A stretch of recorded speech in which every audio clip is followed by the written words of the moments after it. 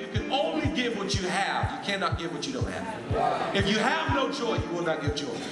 If you have no peace, you will not give peace. If you have no love, you will not give love. When you fall, when you stumble, when you crash, when you cry, when you're in depression, do you have a friend that even knows? Do you have a friend that even cares?